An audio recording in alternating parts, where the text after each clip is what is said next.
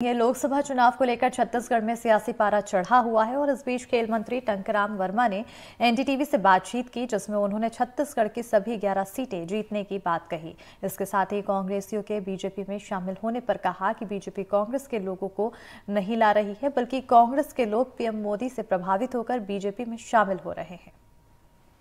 छत्तीसगढ़ में लोकसभा चुनाव में भारतीय जनता पार्टी ने अपनी पूरी ताकत झोंक दी है और कहीं ना कहीं कांग्रेस से आगे भी नज़र आ रही है। प्रधानमंत्री नरेंद्र मोदी का बस्तर दौरा हुआ है। अब राहुल गांधी उनके पीछे पीछे आ रहे हैं।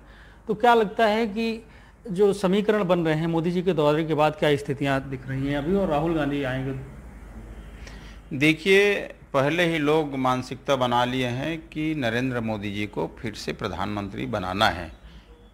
ये मानसिकता केवल प्रदेश में नहीं, पूरे हिंदुस्तान में है और इस बार हमारे मुख्यमंत्री माननीय विष्णुदेव साय जी के नेतृत्व में चुनाव लड़ रहे हैं। 11 से 11 सीटें जीतेंगे। नरेंद्र मोदी जी की गारंटी और विष्णुदेव शाह जी का सुशासन।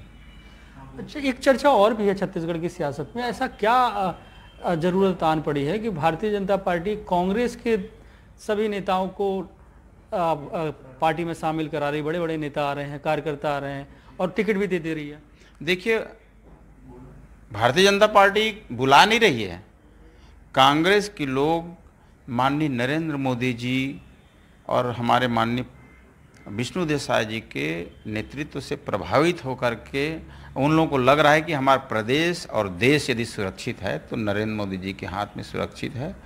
इन कारण वो लोग आ रहे हैं। अच्छा छत्तीसगढ़ की आपका लक्ष्य तो ग्यारह में ग्यारह है। कहीं पर कोई ऐसे संदेह लग रहा हो? कहीं टक्कर की स्थिति भी महसूस हो रही है कि पार्टी को? नहीं कहीं पे मैं महसूस नहीं किया हूँ कि कहीं पे बहुत टक्कर है कसाकसी चल रही है ऐसा नहीं है। आसानी से जीतेंगे। भाजपा कहती है कि राहुल गांधी जहाँ जहाँ जाते हैं भारतीय जनता पार्टी को वहाँ पे फ़ायदा होता है। तो आपकी पार्टी और आप कहाँ चाहेंगे कि छत्तीसगढ़ में राहुल गांधी कौन कौन सी सीट में आ जाए? वो जहाँ भी चला जाए वो कहाँ जाएँगे वो तय करेंगे। बाकी जीतना तो हमारा लक्ष्य है और जीत करके आएँगे सब हमारे सांसद लोग। हमारे साथ टंकराम वर्मा जी थे। उन्होंने कई मुद्दों पर बात की और उन्होंने ये साफ़ कहा कि मोदी जी के चेहरे पर और छत्तीसगढ़ की 11 में 11 लोकसभा सीटें बीजेपी जीतेगी रायपुर से जुल्फिकार अली एनडीटीवी के लिए।